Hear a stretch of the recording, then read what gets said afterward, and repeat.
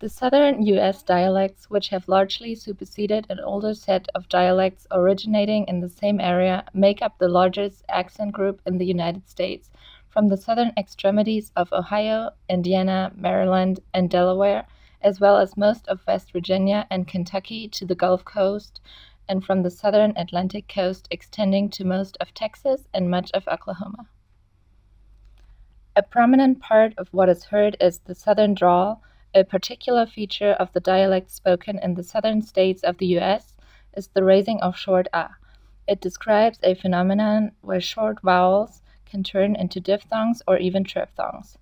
This feature is also called vowel breaking, since the short vowel is broken into two parts, separated by a glide. It happens most often in the environments that are frequently raised in other dialects as well, before nasals and voiceless fricatives. It typically begins with the nucleus in low front position and produces an auditory impression of "aya".